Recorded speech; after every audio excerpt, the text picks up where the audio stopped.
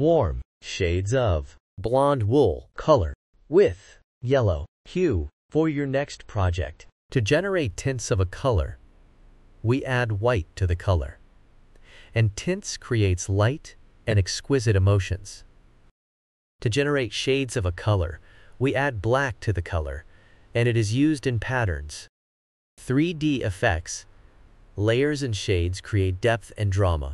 Blonde wool is a warm color, and it emits cozier and active emotion. Warm colors are symbols of warmth, fire, heat, and sunshine. It also evokes joy, passion, love, and even anger emotions. You can see them used in restaurants and gyms.